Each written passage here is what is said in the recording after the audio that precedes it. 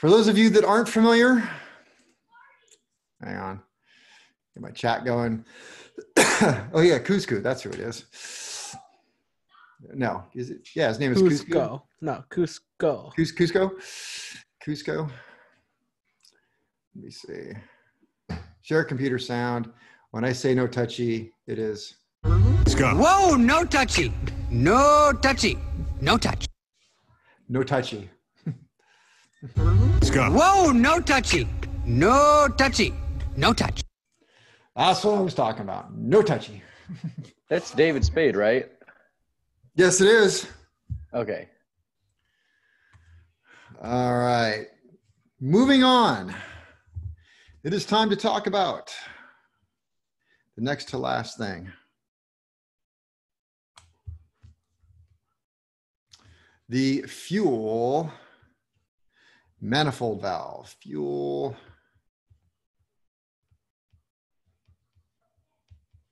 fuel manifold valve. Valve. All right. It has two functions. Two functions. The other one had three functions. Didn't I write three for that one? For the Bendix? Oh, I did. I remember what they are. Does anybody remember what the three functions of the other one was?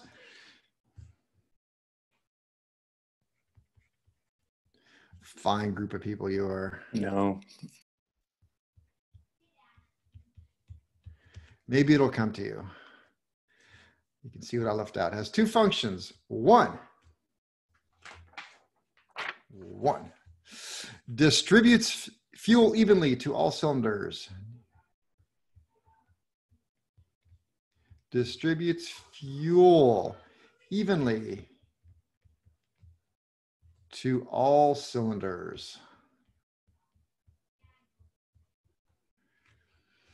Janet, you're late. You missed Cusco or uh, Cusco. She was actually on time for that. Oh, was she? Oh, okay. I was just seeing that the I can see out the corner of my eye the thing changing. I was trying to figure who just showed up, and I saw SpongeBob. I didn't see SpongeBob last time. It's very colorful. It's can't miss it. Um, two provides provides positive fuel shutoff.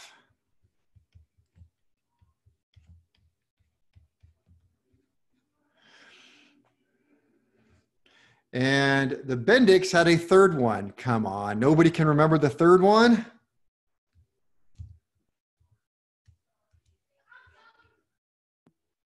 No. Cricket. I'm Yeah. looking to my note. V slot. What about the V slot? Idle. The flow at lower speeds It what? regulates flow at low speeds. That's it. Had the V slots in it. All right. Continental, in my opinion, goes through rather great lengths. Well, maybe not great lengths, but they definitely have designed their manifold valve to not do any regulating whatsoever. They do not want it to regulate. So, how do they do that? To it uses a spring-loaded diaphragm. It uses it uses a spring loaded diaphragm diaphragm that lifts off its seat that lifts off its seat lift off its seat um I should, yeah when when it gets enough fuel pressure obviously the fuel lifts it off its seat um, there is a little poppet valve. Wow. There's no little does not begin with a T. It begins with an L. Little poppet valve. Poppet valve. Valve. I'm going to say inside. Inside the big poppet valve. poppet valve. That keeps fuel from flowing, that keeps fuel from flowing until um, proper fuel pressure is released. And it probably keeps flowing until proper pressure, until proper, proper pressure is achieved. So in other words, they don't want it dribbling. If you if it if you don't have enough fuel pressure coming out of the fuel pump, going through the fuel control unit to the fuel manifold valve, the fuel manifold valve is not supposed to work. And that is a, a little bit of a problem if you only have a single poppet valve, uh, like the Bendix style, where you just, it comes underneath the diaphragm and the diaphragm slowly starts lifting. Well, this, the same thing would happen with this one, even though it doesn't have V slots, it's still going to have openings. And if you get the, the diaphragm to slowly open just a little bit, fuel is going to dribble out. So it, you don't want that to dribble out. You want it to uh, open only when it's appropriate. So they have a way of doing that. So I'll put that. This keeps the distributor valve.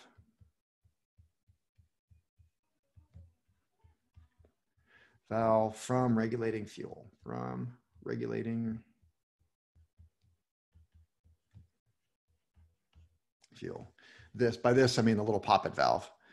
Um, there is a vent, vent on top of the distributor valve.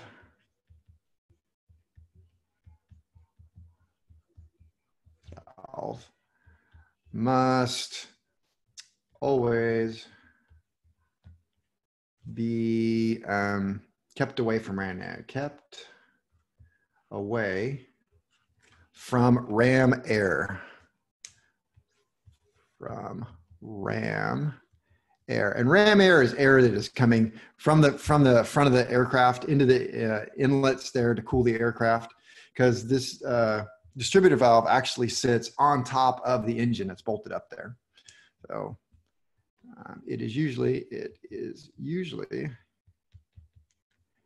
facing aft or side or eh, facing facing aft or on the side.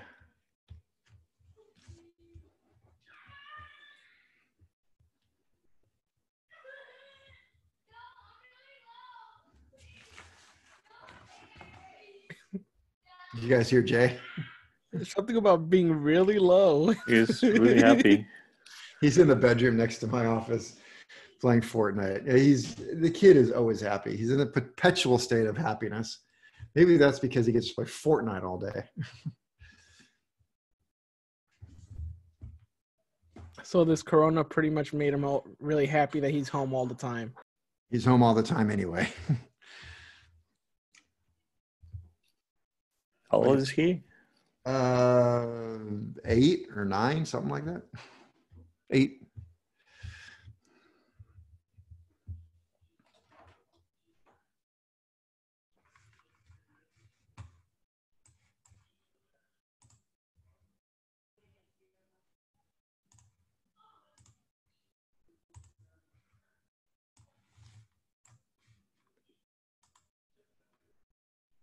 Okay, here's the distributor valve. Here's the vent. See, what bugs me is that I can't, you can't read vent, at least on my screen. It's like too blurry. I think that's where I need my HD camera. So this is the vent. And you can see this, these are the bolts that would go through the spine of the, of the uh, back of the engine uh, on top. And of course, you would never want this facing forward because if ram air comes in here and pressurizes the top of this, it's going to assist the spring in pushing down on the diaphragm, which would be a bad thing. So this has to be the front of the engine right here, and that has to be the back. So fuel is going to come up into here, and it's going to pressurize this. I'll take it apart and open it out the nozzles. This hole right here is going to be the uh, fuel flow gauge. I haven't opened this one up yet, so could be surprised here.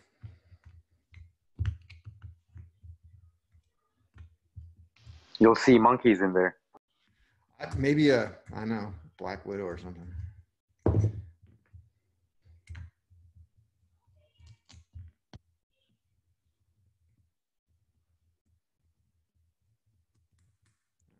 So we take that off and we'll see here, all we have a little itty bitty tiny vent. Boy, I don't even know if you can see that right down inside there, which faces this way. And that just keeps this from being pressurized in here. So this is obviously the spring that is pushing down on this. Yeah, let's see. Old dried up crusty. There we go.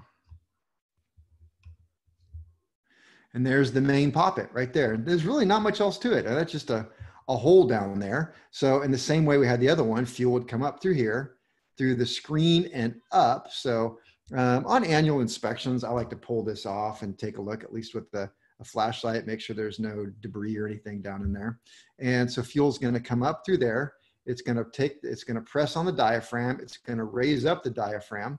Fuel then is gonna enter these little holes right there, right there, and then flow down here into the hole there and then out to the nozzles, which is really not much else to it, except, looking for my- Kevin, yeah, that one doesn't have the chamfer, right? the V slots? No, No, the, the chamfer on the on the head. chamfer.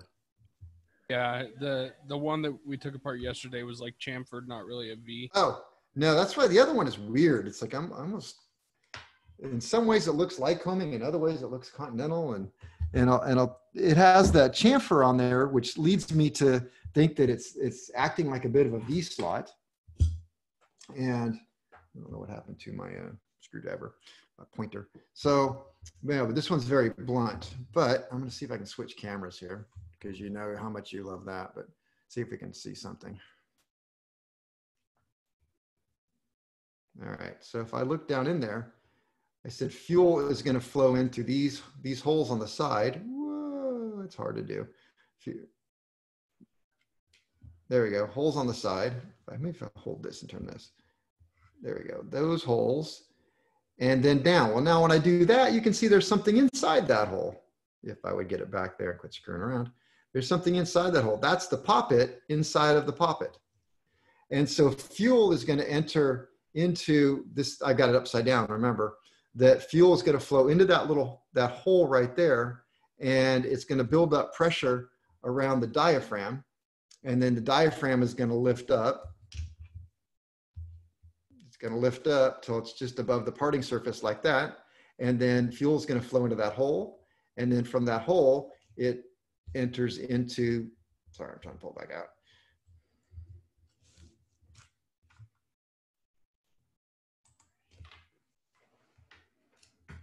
You'll have to tell me if doing that is just obnoxious and I'll stop doing it. All right, so then f- fuel enters into these little holes, goes down in there, but inside there, there's this little poppet.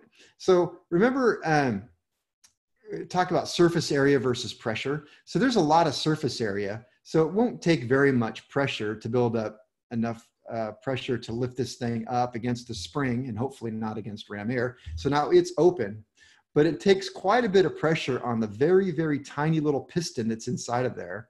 And so what happens when the pressure builds up enough inside of that poppet, the inside poppet is spring loaded and it pops down and it allows fuel to go around it on the inside. And so that's the second poppet. So I got poppet one, then poppet two. And so that pops open suddenly and then fuel starts flowing. And then when fuel starts, when diminishes, uh, the inside poppet quickly closes cutting off all fuel and then remember the little secret passage then I, that will kind of drain off or it'll and allow this thing to settle back down and be completely shut off So Kevin, it goes through the big poppet first, then the small poppet. yep well okay so this this lifts up and remember that fuel goes in in through here through here up the screen lifts this up and then it goes into that little hole right there down the center of, of this out here and then down there where the holes are Gotcha. Kevin, yeah can we see inside of that hole? okay mean like i've got it right now Uh, well, yeah, that one and the other one too, where the uh, little poppet is. uh, the focal length isn't quite right but can you see the holes on the sides Yeah. there you go oh there we go that looks good Okay. Yeah, that's better. Okay. So that's that. You can see even on the screen over here on the side, uh, right there. I had it. The inlet. Does that screen come out to clean, or do you have to clean it where it is? Um, I've taken them out, but you tend to damage them. Let me see. I think I've, I think I've worked. Hang on, let me just if I can pop this one out. I've worked most of these so they come out.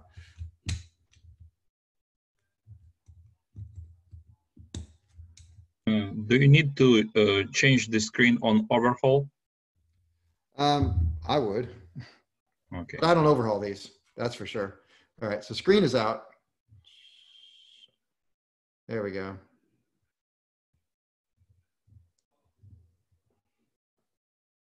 Right is left, left is right, up is down. It's like trying to shave the back of your neck. All right, and so then we have the holes down there, which will go out to the nozzles. And then what was the other thing you wanted to see? Inside of there? I think Hector wanted to see the little poppet inside the big poppet. Well, you really wouldn't even know there's anything in there. It is so hard to see anything. And that little poppet just opens by pressure. Oh, wait a minute. This is really. I cannot move it the right way. In the middle, in the middle. I'm trying. There. I got it. Okay, look at. so you can so see now the spring. Oh, spring. Where is Yeah, the spring? yeah. So here's the spring in there in the poppet. It is tiny.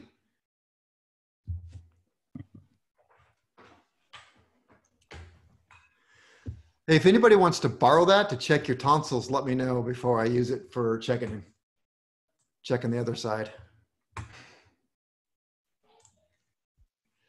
That was a bad joke. Wow. I don't have. Good go. I know my wife's like, "What do you got there?" I'm like, "Hey, don't forget, you know, I mean, Katie's not feeling well. I do have a, a endoscope." I said, "You're just going to want to make sure that you use it on the on the top before you check the bottom." but I'm. When does that happen? Thank you. I'll be here When you're day. 60, right? When you're 50, uh, I'm, I'm past 50. And I haven't done, well, we're already getting pretty personal here. I haven't had that done yet. Kaiser is different. They uh, they make you do a different test. We don't have to talk about that. Uh, okay. Um, where Mail am I? order. where am I with my notes? Okay, well, now I'm really running out of room on my desk to. All right, um, let's see. Van- Okay, well, that's really it. That's it for that thing. And now we can talk about nozzles. And like I told you, the nozzles for this thing, boy, if you're not careful, you cannot tell the difference between a a, a Lycoming nozzle and a Continental nozzle. Uh, they are really almost the same. So, in fact, it's going to get worse. So, basic. I'll even write that. So, nozzles nozzles one basically the same as bendix basically the same as bendix they look the same act the same same functions everything is the same um, it does have a letter a letter stamped stamped on wrench flats just like Bendix, um, except flats um, is a calibrated flow rate, is a calibrated, calibrated flow rate. And the way they do it is they've got three of them. So you have the A, the B, and the C. And A is baseline, is the baseline nozzle. The B is going to give one half gallon per hour, one half gallon per hour more than A, and C is going to be one gallon per hour more than A. So just basically oversized. Yeah, that's all they are. And I've never even gotten into needing it. If somebody's complaining about a flow rate or something, I just go right to GAMI and say, well, you know what? I, I would recommend you get GAMI injectors rather than you know, trying to pay a mechanic to figure out this flow rate and only using a one half gallon or one gallon more per hour. It's like GAMI gets so down into the nitty gritty. And then even that, it's like, okay, well, that's all fine and well. Um, that one says 10. So I don't know what the heck a 10 is, you know, just stamped with a 10. Maybe this was a GAMI injector or something, but um, I showed this, I actually used a Bendix injector when we talked about injectors. For, I'm sorry, I used a Continental injector when we talked about injectors for the Bendix system. And what I'm going to cut out here is I actually, you know, as I, I have learned over the years, I get way in depth and I went into this, this big deal about how to adjust these things. And I got into the service bulletin and, and quite honestly, I think it would bore you to tears. It almost bores me to tears just uh, talking about it because it's, it's very technical and it's it's like it would be like me trying to explain to you how to overhaul an engine, which you know how to do, uh, by writing it out. You're like, oh man, that is that is not fun. So um, I pretty much, you know, talk to you about about the adjustment. You've got the no touchy, and to adjust it, you have to follow the service bolt, and it's not terribly difficult. It's just time consuming, and you have to make sure you do a good job. Um, when I was talking to talking to I went to a, an IA renewal and I watched this guy twice, and it was just I. Uh, he was with the NTSB, and I told you guys about him. I, I would go watch this guy speak anytime, even if it's the same subject. It's like, man, it's just it's so interesting.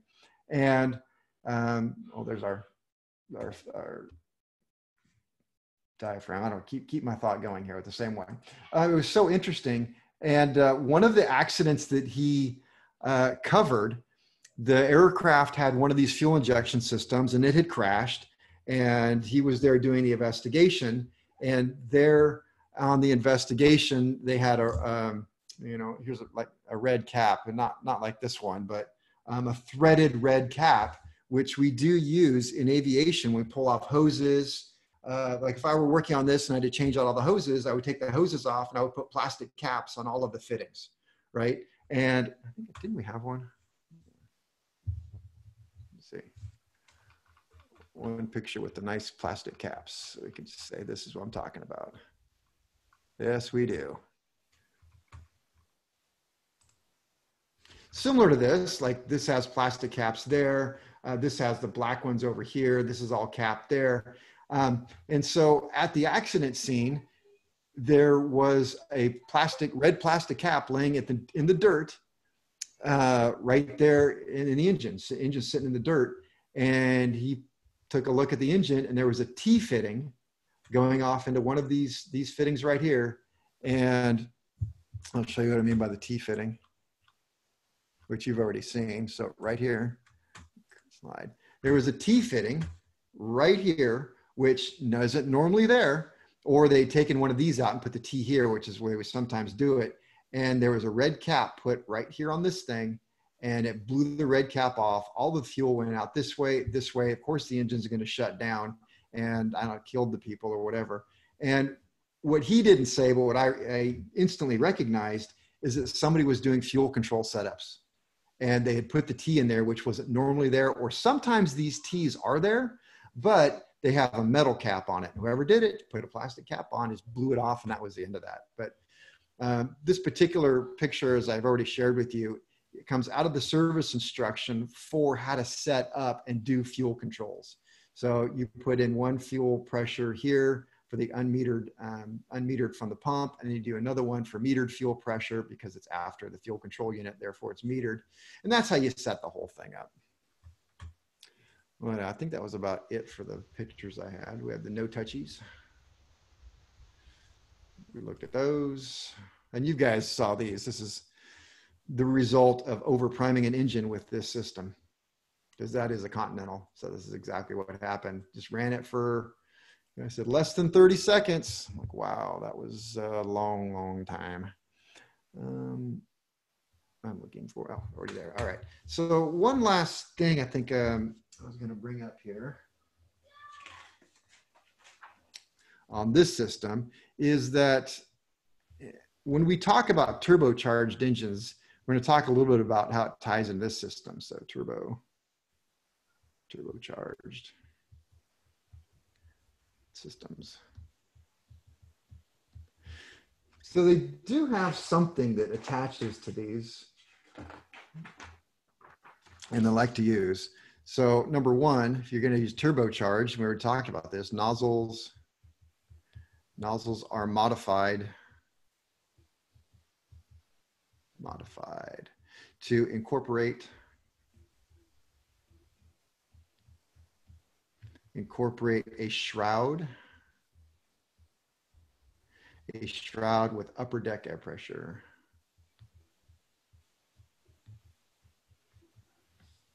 Upper deck pressure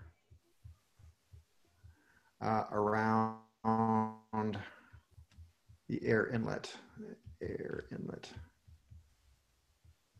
of the nozzle, that is. All right, then the next thing that these systems use is they use an altitude compensating um, fuel valve. An, al an altitude compensated compensating um, fuel valve. Okay. Yeah, well, I want a better word here. Altitude compensating. Well, I wrote fuel valve before. I'll just leave with that. Fuel valve, you'll see what it is, is incorporated, is incorporated in the fuel pump.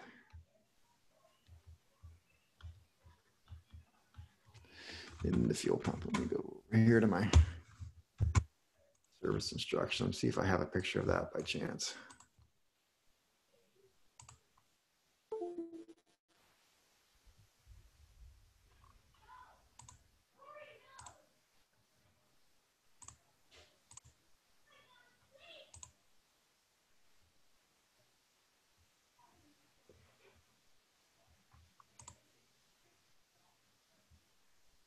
Yeah, this will work.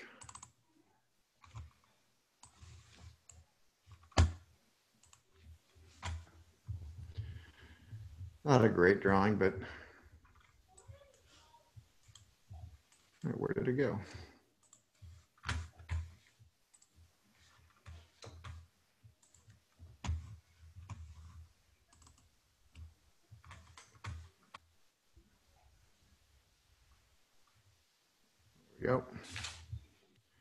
So this upper, well, they both have it, but it would, um, so aneroid, you ever see aneroid, that's what we're talking about. So an alti, um, you know what an aneroid is? Not an android, but it's going to attach down here to the fuel pump. So aneroid adjustment, um, factory set adjustment, not normally required. So what that does is it is going to basically slow down the pump in a way, um, slow down its reaction to uh, compensate for turbo lag. So what happens with turbochargers is it they're they have to spool up. So you have to think about, and we'll talk more about how they work, but um, they work off exhaust pressure. So if I open up the uh, if I open up the throttle and I try and increase the engine speed, well, now I want more pressure from the turbocharger, but it takes a minute for to open the throttle valve and for the air to go through the intake system into the engine, from the engine, build up pressure, speed up the turbocharger, and now the turbocharger is going to give me enough air to, to satisfy the need that I created a minute ago. So everything is a, a, is a slow reaction with the turbocharger, and they refer to that as turbo lag. And the bigger the turbo gets, the heavier it gets, the longer it takes for it to spin up. That's why smaller turbos um, on one hand are better, but on the other hand, they have to work harder. So, um, so anyway, you got to slow this thing down.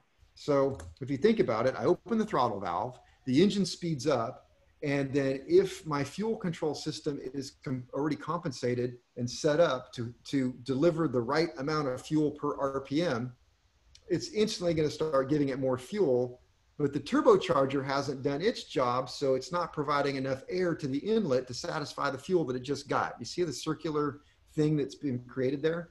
So if there's some way you could open the throttle valve, the, engine speeds up, and then you tell the pump, wait a minute, you just hang out for a second, wait just a second before you do something here. Um, everything's going to be much better. So there, you have to build in a delay. So the way they build this delay is they put the aneroid, um, which is a bellows, that is attached to the upper deck pressure. So it's sensing what's going on in the upper deck. And then the way you do that is, let me go back to this picture here, because this one is just so simple and it would work.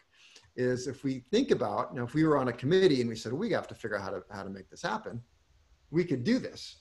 We could say, wait a minute, let's go back to the basic pump here. And we think about what's happening with the basic pump and we would say, okay, so we speed up and more fuel goes. More fuel goes because this is restricted.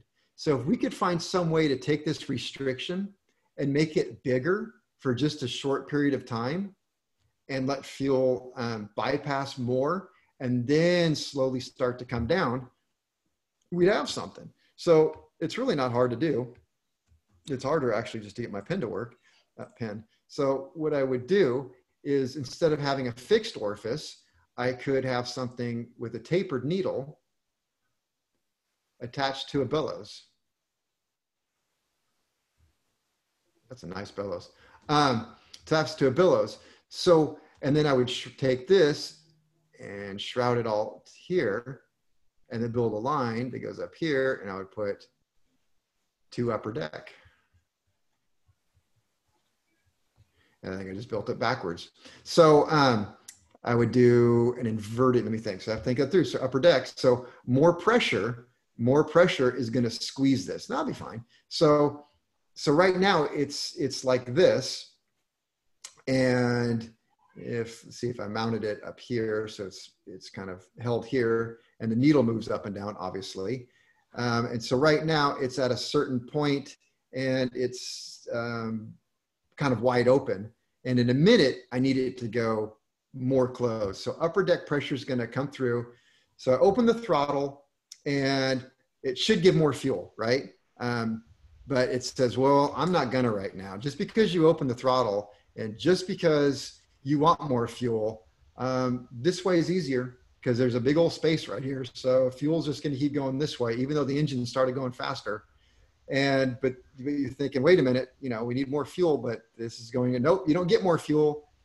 Turbo speeds up, pressurizes this because it pressurizes it. Uh, pressure, um, pressurizing it, it's going to now contract, making this go the wrong way and make it worse. So I want an inverted needle, right? You guys follow me?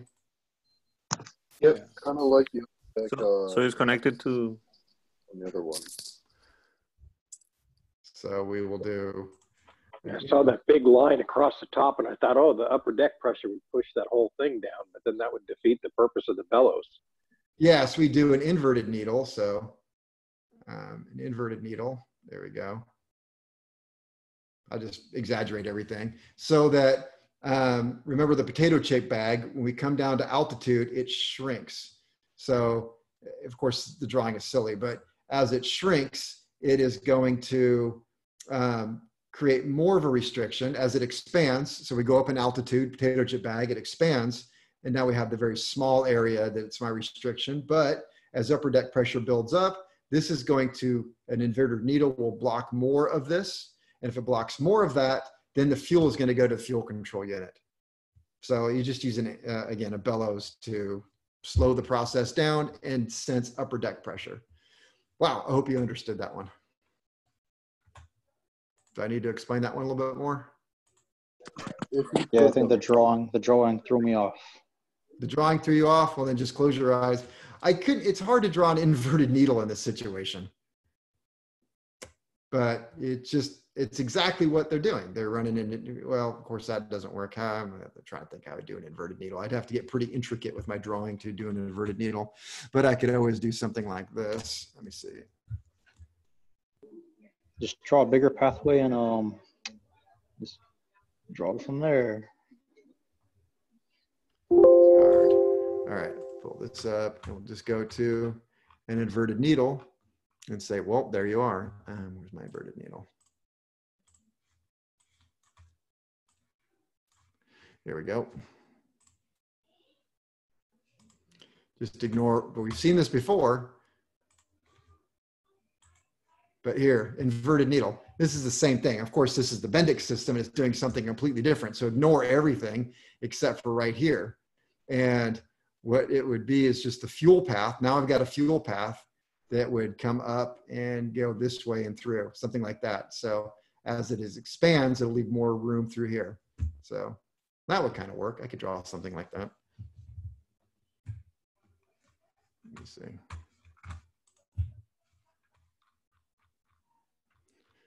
Maybe I should take a drawing class.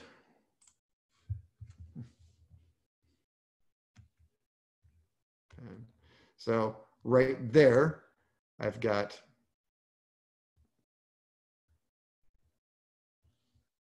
orifice. And somehow I've got my bellows.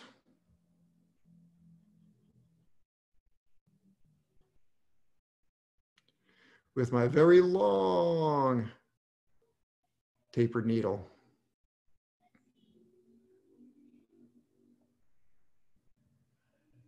There. Now, as this expands, it's going to let more fuel go, right? And as it contracts, it's going to bring this triangle up here and start blocking that off. So that's my, that's the best I can do. Sorry. So right now, fuel can right, I get it. flow through here. And then as it, it contracts because of pressure, so of course I'd have to put this like that. There you go, upper deck. Upper deck. So upper deck pressure will make that do all that. So there we go. Best I can do. You're probably just going, right, you know what? Just to stop with the stupid drawings already. I'll just pretend like I understand. All right. Um, was that all I had to say on that? Aneroid moves tapered needle, which and then else fuel pump, and oh, there was more to that. And then point number one is an aneroid bellows in aneroid bellows moves a tapered needle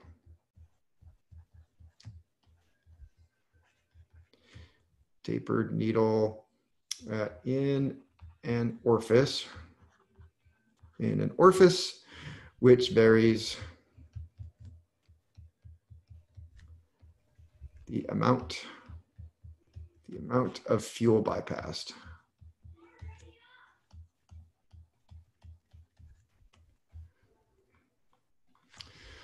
Uh, I could expand on that. Let me see. As upper deck, increase pressure, upper deck pressure, increases, increases to the correct pressure for the selected RPM.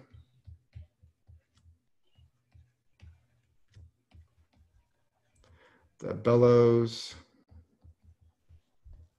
contracts, contracts, and allows allows um, less fuel to bypass.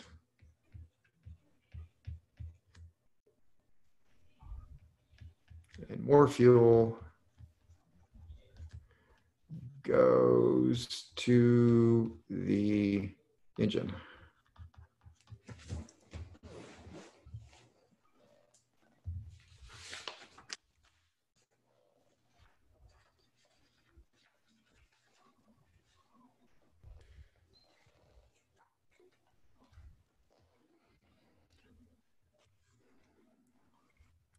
Can I explain the relationship between throttle and upper deck pressure again? Absolutely.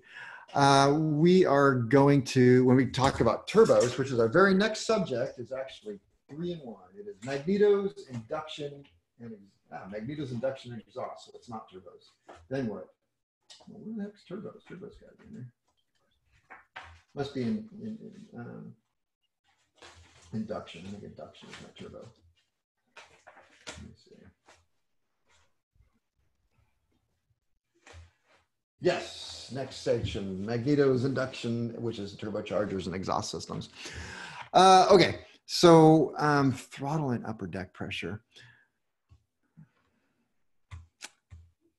I don't want to do this one.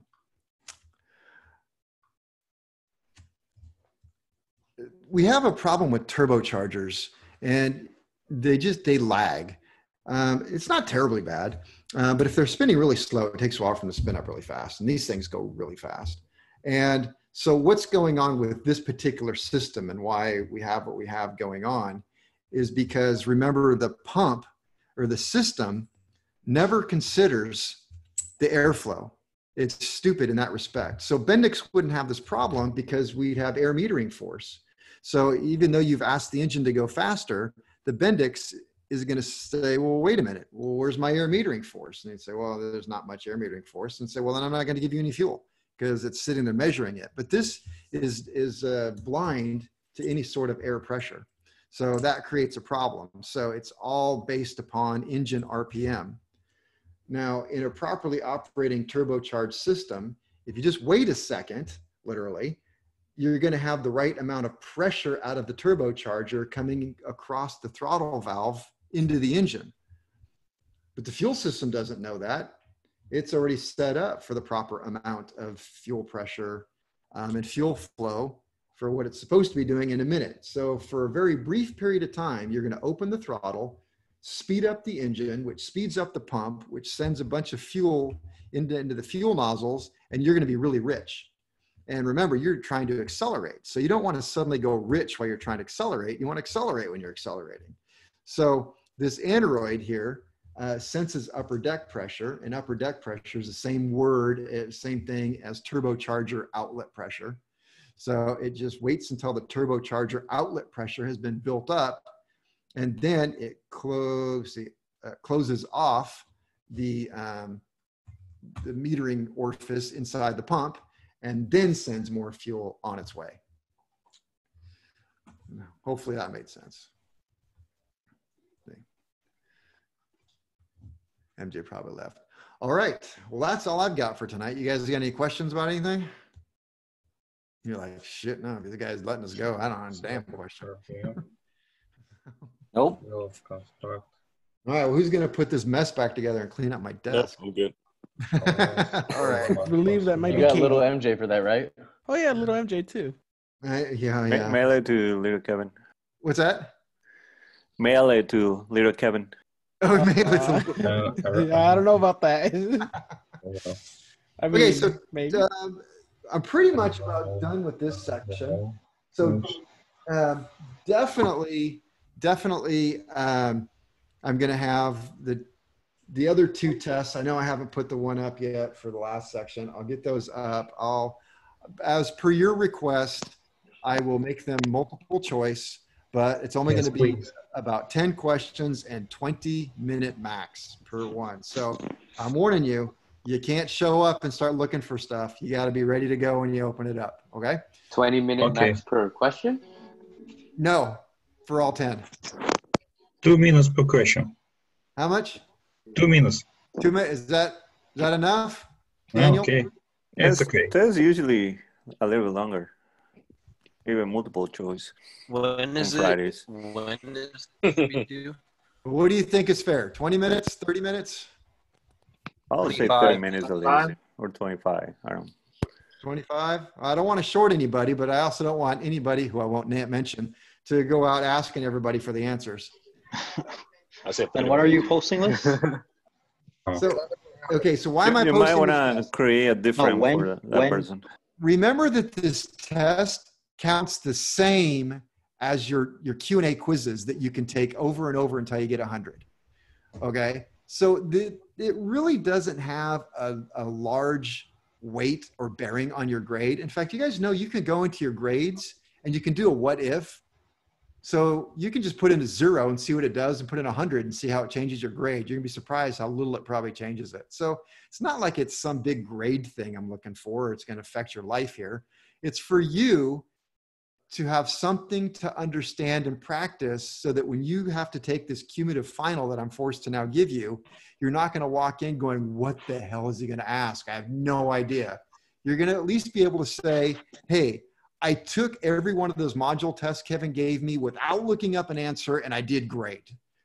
And so, you know me, I'm going to try and follow the same suit and make it very similar so that when you walk in and take the final, you're going to say, Well, I did great on the other one. So obviously I was in tune with what he wanted to know and I'm going to be fine and you won't freak out. So, Are we able to Kevin- open up the first module test? And minutes. when is this other one going to be posted? The first first module test, it's already shut down. Uh, oh, I wanted to see it. All right. Uh, when, when is this one getting posted though? Um, I probably won't get a chance to to to write it till this weekend. And then I'm going to give you the whole spring break. So it won't be due until Monday when we come back from spring break. Sweet. So you'll have, uh, you know what? I might even um, keep an eye. I might even throw in one more because a lot of you just kind of screwed up and didn't get it. I'll maybe do a, a quick multiple choice again for module one. You guys be okay with that? Oh yeah. Okay, so I'll make a multiple choice Hell for module yeah. one. Thank you very much. and uh, th- that way you have a chance to increase your scores. So it'll be multiple choice. I'll do three multiple choice, section one, two, and three, um, which will cover everything we've done so far. Uh, multiple choice, uh, 20, 20, 25 minutes or something like that. And remember, it's it's a tool for you to know where you stand. So if you get to a question where you feel like you need to go out and cheat, Stephen, then that's just a clue that you need to study a little bit harder. Okay. Uh, it's not going to affect your grade enough to even worry about cheating, Stephen. So, And they're all gonna be due after spring break, right? I think he left. and then I know, I guess so. Stephen, are you with us today? No, I'm here. Sorry, I. God. No, it's okay. It's okay. Don't even have to explain. I'm just gonna uh, mute you real quick. okay, so, uh, Stephen, you're he makes the class fun. So, um, all right. So that's what that's gonna happen. That'll be due the Monday right before we start again. So you have the whole weekend plus the wh- all week plus another weekend that we're off, and then we'll we'll do it on Monday. And since it's multiple choice, I don't have to grade it. You'll get your answers right away. Um, That's perfect. So when we get back, are we going to start module three then? Uh, actually, we're starting module four. This we just finished module three. So, So we can- tomorrow we'll start talking a little bit about module four. So we can take the tests for module two and three. Yes. Perfect. Yep. One, two, and three. I think one, two, one. Did you finish grading the written module one? No. You want to get off my back, man? No. No, I'll probably do it Saturday. I've been a very, very busy guy. So, all right, everybody, have a good night. I'll see you tomorrow. Thank you very much. Bye. Yeah, Bye. thanks for the knowledge. Thank you. I'm going to Coachella next week, so I can't do the quizzes.